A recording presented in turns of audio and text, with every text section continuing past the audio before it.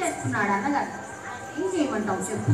అంటే అప్పుడు ద్రౌపది భర్త తల మీద అలా తల ఆవిడ గుండెలు ఆయన గుండెలు మీద పెట్టుకొని కన్ను ముమ్మురుగా విలసిస్తూ అంటుంది ఎవరు పట్టించుకోకపోతే మరి నా పరిస్థితి అసలు నేను పుట్టిన జన్మ నక్షత్రం ఎలాంటిదా అడుగడుగు అడుగడుగా నాకు అవమానాలే. యజ్ఞగుండం నుంచి ఉద్భవించాను నేను అయోనిజను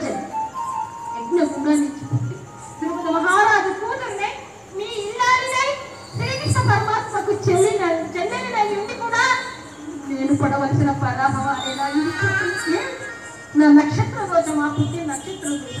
నాకు అడుగడిన అవమానాలు ఎదురవుతున్నాయి. నిండు సభలో పాపరతులైనటువంటి కౌరవులు చిక్కు విడిచి చెప్పాను అంటయున్నాను దూరంగా.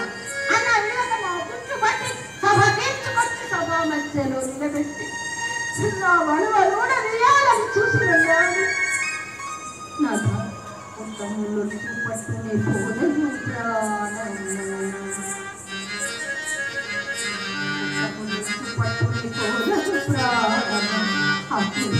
రాజుచే బన్నములు బడుటకు నిలిచే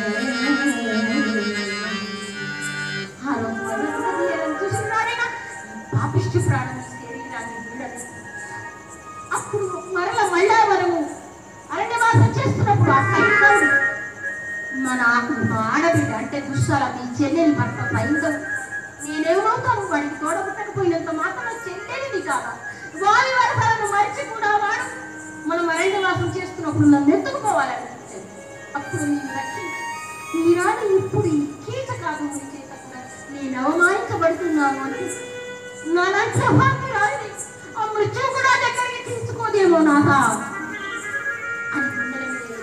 తలబెట్టి ఏడుస్తుంటే భార్య దుఃఖాన్ని వదిలేపాడు అమ్మాయిని దేవుడు ఏం చేయమంటావు ద్రౌపది? నేను తాకాలని చూసిన వాడి ప్రాణాలు కూడా తీసేవాడు. అత్యాపవాసం భగ్నం అయిపోతుందో? అని ఒక పక్క మొత్తుకుంటున్నాడు ఆ పెద్ద ఆయన. ఏం చేయమంటావు చెప్పు. అదే నన్ను ఏం చేయమంటావు చెప్పండి ఏం లేదు ఒకటే ఉపాయం. వాడు నిన్ను వదలడు కనుక వాడు లేకుండా చెయ్యాలి అదే ఎలా? కొంచెంసేపు ఆలోచించి ఇలా చెప్పాడంట దేవుడు ఓ పని నువ్వు వెళ్ళిపో. హాయిగా అనుగ్రహం నీ మీద మోజుతో వాడు తప్పకుండా తెల్లారే సరికి నీ దగ్గరికి వస్తాను. అప్పుడు నువ్వు ఏం చేస్తావు అంటే ఎవ్వరికి అనుమానం రాదు నిజంగా కీచకుడితో మాట్లాడాలి.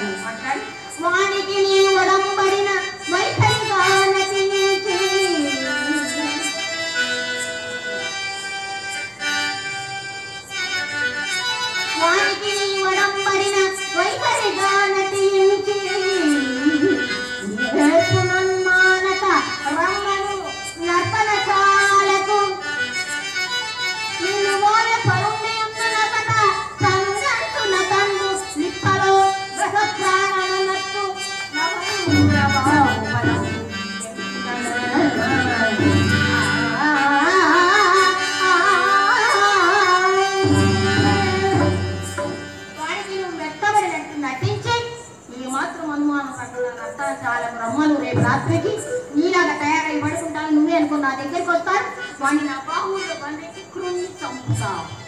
ఇంతకంటే మా అర్థం లేదు.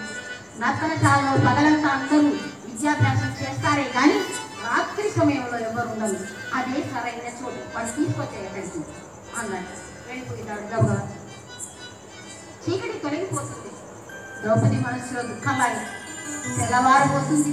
కీచకుడి జీవితంలాగే ఒరే కీచక నీలోని గుణాలేవి మంచివి కావు కావు కావు అని అంటున్నాయా అన్నట్టుగా కాకులు కావు కావు కావు అంటుంది తెల్ల తెల్లవారి. కీచకుడు బయలుదేరాడు సైలెంట్ అసలు నిద్రపోతే కదా వాడు. రోగి యోగి భోగి ముగ్గురు నిద్రపోరటండి రోగి యోగి యోగులు ఇరవై నాలుగు గంటలు దైవధ్యానం చేస్తారు కనుక ఏదో శరీర అలసట తీర్చుకోవడానికి అలా కాసేపు నిద్రపోయి లేస్తాం ఇక రోగి రోగంతో రోగంతో బాధపడేవాడికి నిద్రపడితే నిద్రపడితే అసలు రోగం ఏముంటుంది ఏముంటుంది ఇక భోగి సుఖాలు అనుభవించే వాడికి ఎంత సమయం ఉన్నా సరిపోదు. అలాగే కీచకుడు బయలుదేరి వచ్చి అంటాడు సైలెంట్ నా సంగతి ఏం చేసావు నువ్వేం చెప్పినా వినడానికి నా వినాలి ఒప్పుకోవాలంటే అన్నాడు. అప్పుడు ఉద్యానవనంలో పువ్వులు కోస్తూ ఉంది. అక్కడికి వచ్చాడు. అంటున్నాడు. ఆవిడ ఏంటి అలా దిక్కులు చూస్తున్నావు? కీచక నేనంటే నీకెంత ఇష్టమో నిన్ననే నాకు అర్థమైంది. మరి అర్థమైనప్పుడు ఎందుకు ఒప్పుకోలేదు? ఎందుకంటే నిన్న నీవు నన్ను నా వెంట పడుతున్నావు. నా భర్తలు ఐదుగురు నా వెనువెంటే ఉన్నారు అదృష్టం మరి వారి దృష్టిలోకి వెళ్తే నిన్ను ఏమైనా కానీ నేను అలా నిన్నటి రోజున నువ్వంటే ఇష్టం లేనట్టుగా నటించా. బాగా ఆలోచించాను నీలాంటి అందగాడి ఈ ఆడపిల్లకైనా దొరుకుతాడా అందుకే నా మనసు నీ పైన నిలిచింది. నా భర్తలకు తెలియకుండా నీ కోరిక తెలుస్తా. అలా పది మందిలో బాధపడకూడదు మరి ఆడవాళ్ళని.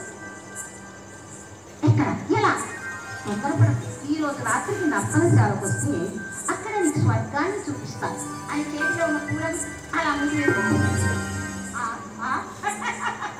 అవునే పది మందిలో మగరాజు భావిస్తే ఆడు మాత్రం నిజే వస్తా అని గబగబా బయలుదేరి వెళ్ళిపోయాడు. వెళ్ళిపోయాడు అంతపురానికి వెళ్ళాడు. ఎప్పుడు చీకటి పడుతుందా చూస్తున్నాడు అప్పుడే తెల్లవారిని అబ్బా ఏం పడాయా వెళ్ళొచ్చు కదా అంటాడు సూర్యుడు. చంద్ర వద్దంటే వస్తావు వచ్చాయి అని చంద్రుడు ఆహ్వానిస్తున్నాడు ఇలా ఇలా మధ్యాహ్నం అయింది సాయంత్రం అయింది చీకటి పడి వీటితో వీటి పని ఈరోజు అయిపోతుందో అన్నట్టుగా ఓ అరగంట ముందుగానే సూర్య భగవానుడు కనపడకుండా వెళ్ళిపోయాడు చీకటి పడిన వెంటనే వెళ్ళడానికి లేదు కదా సద్దుమణగాలి మరి బాగా రాత్రి పది పదకొండు గంటల ప్రాంతంలో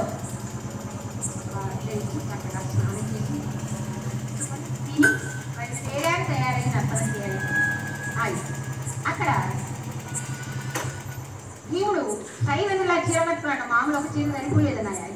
ఓ రెండు మూడు చీరలు కట్టుకొని అలాగలా పెట్టుకొని ఏదో చవరం గేరం అన్నీ పెట్టుకొని పూలు పెట్టుకొని సైలెంట్ లాగా రెడీగా ఉన్నాడు. సైలెంట్ నుంచి సైలెంట్. బాగున్నారండి సరే ఒక పని చేయి. సమయమైంది దీపం మార్పించి ద్వారంలో నిలబడతాం కీచకుడు రాగానే పిలిచి నువ్వు పక్కకు తప్పు. ఒక స్తంభం చాలు. నేను చూసుకుంటానన్నాడు. సరేనన్నాడు.